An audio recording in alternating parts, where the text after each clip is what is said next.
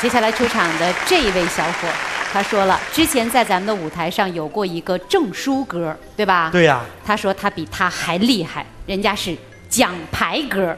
哟。啊，来，掌声有请奖牌歌。全场热烈！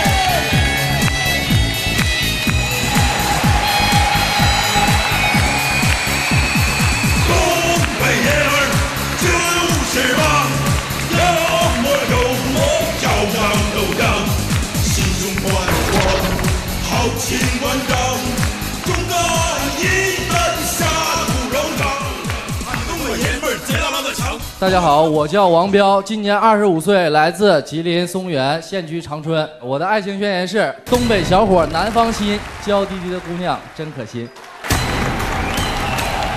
来看看场上十六个姑娘对谁感觉最好，选一中人。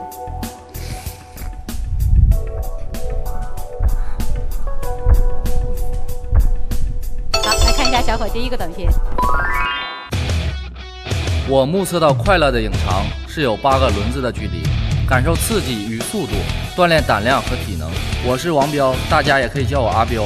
今年二十五岁，老家是松原长岭的，现居长春。在轮滑的过程中，我感受到前所未有的快乐和荣誉。我玩轮滑十四年了，也曾是湖北省省队自由式轮滑的一员。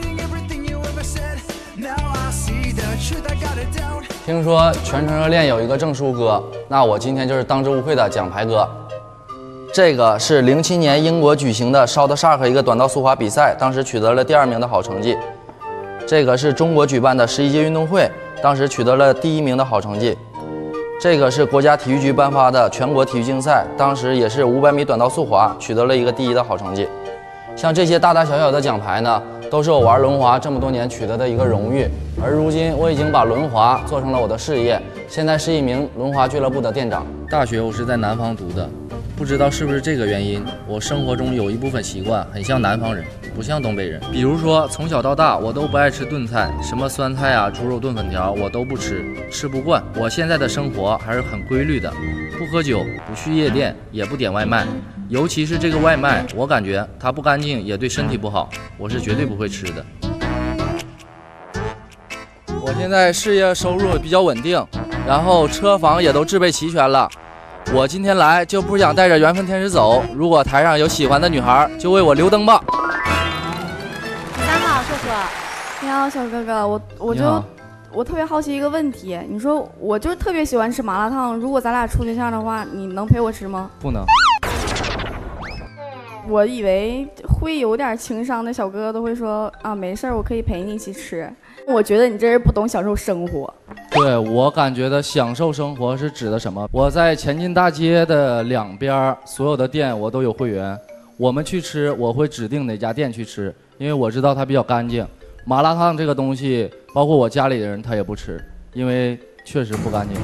那你的生活那么规律，不去夜店，然后不喝酒，等等等等，我我觉得你像像活得像五十二似的。因为我十三年，我仅仅坚持了一件事情，就是我的轮滑，也是我的热爱。但是我属实是觉得你的生活除了轮滑没有任何色彩。人这就活一辈子，要有点丰富的内容，然后去过不一样的日子。呃，我这个问题我完全的可以接受，就是人生活没必要去那样，对吧？及时行乐，该享受享受。但是，你所享受的东西一定要是有高度的东西，并不是那些平平常常蹦迪呀、跳舞啊那种肤浅。谢谢。谁告诉你吃麻辣烫蹦迪就是肤浅的？我个人接受不了。你觉得到夜店呢，去蹦迪呀？你觉得这些都是属于什么？属于低端的一个玩法吧，差不多。因为我到了一个地方或者见了一个人，我总想去跟他学点东西。包括我每天上课也是一样的，就是每个人，我们队里边有两个国家教练，国家级的教练。他呢，上课之后。我会做课堂笔记，优点缺点我都会列出来，是这种的。我都想到一个地方去学习东西，但是到夜店以后呢，我发现我并学习不了什么，然后我就比较反感那个地方。